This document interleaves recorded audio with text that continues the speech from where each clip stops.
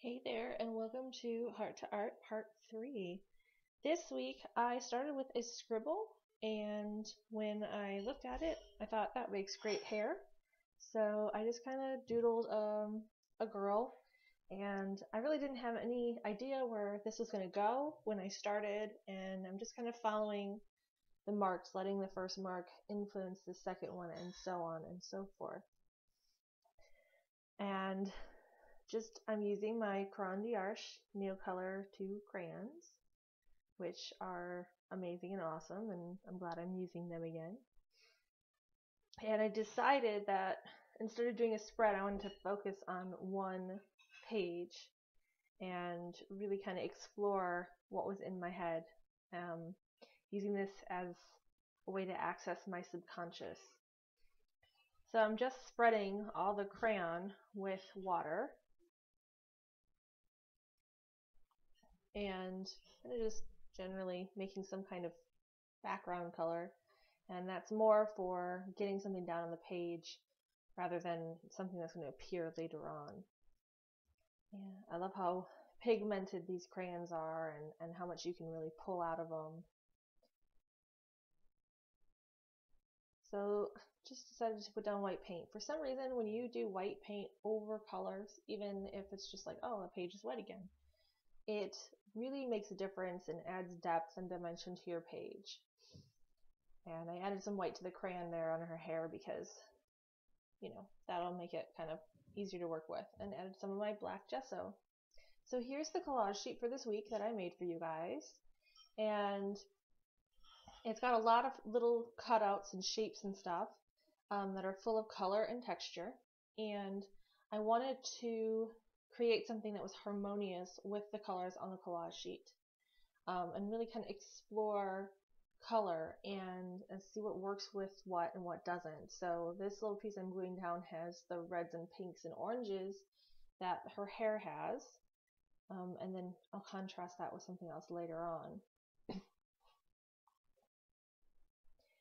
and I decided to just start collage page, collaging stuff. I really liked that little scrap that was on the desk, and I thought, okay, well, I'll put that in her hair. And then I cut these circles out from the collage sheet from the pink textured section and, you know, other parts. You don't have to cut out the shapes as they are on the collage sheet. You can make your own shapes, absolutely. Here's another scrap of paper. I was like, I'm going to glue that down. So just random collage in her hair. And here's where I'm going to play with color. So this is neon pink. Um, and I love neon colors, so I thought that would go with her orange hair. And I'm adding white because it lightens the pink um, and kind of makes it a little more um, opaque. And now I'm just doodling into the paint with the end of my brush, which is fun. And here this is like an aqua color um, because the colors on the collage sheet are greens and teals. Uh, I thought this would go really well. And I'm not using a paintbrush here, I'm using my Catalyst um, tool to paint with. And that's what I usually use as a brush. And it makes it easier to add a lot of color because it won't all mix together. And I added some yellow ochre there because I love how it looks when mixed with the with the teal sea green whatever blue so here I cut out some shapes and I, I didn't record myself cutting out shapes. Um, these are the hearts that are on the top of the collage sheet. For some reason that wanted to go there. It's kind of interesting to watch myself do this because I could just see how one mark leads to the next. The heart, I put down the heart and I was like, okay, it's going to have to have like lines around it and then maybe add some dots and then maybe it shouldn't be yellow ochre, it should be you know, neon. And here, this is the neon pink mixed with the yellow ochre, so it makes kind of like a weird orangey color. But I really liked it.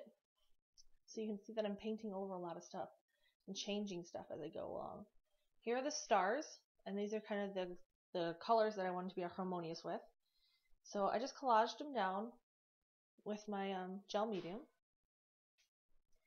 And then I did something interesting. I decided to put it so there were a couple off going off the page to give you the impression that you know this is one part of a larger thing.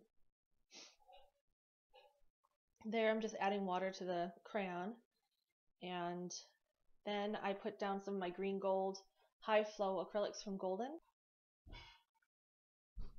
And I took this collage piece, I was like, where am I going to put it? The page is wet, so I'm going to move on and do something else while the drips and drops dry.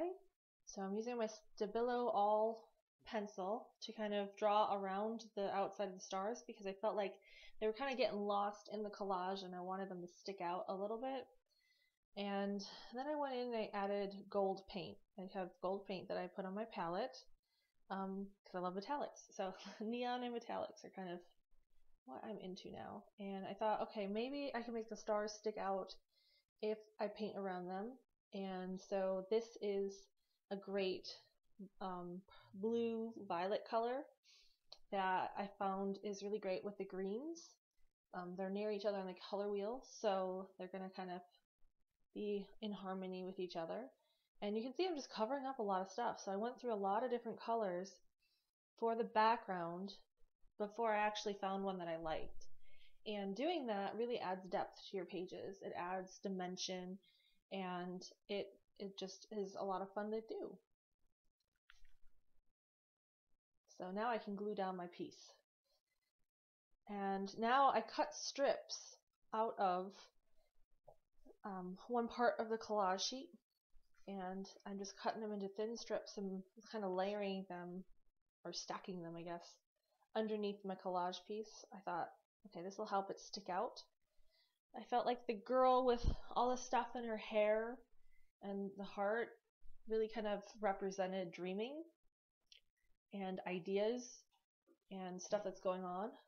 So this is just that was just a gold paint pen. Here's an aqua paint pen, just going over everything. Now that it's all dried, um, I can draw over it without worrying about killing my pens.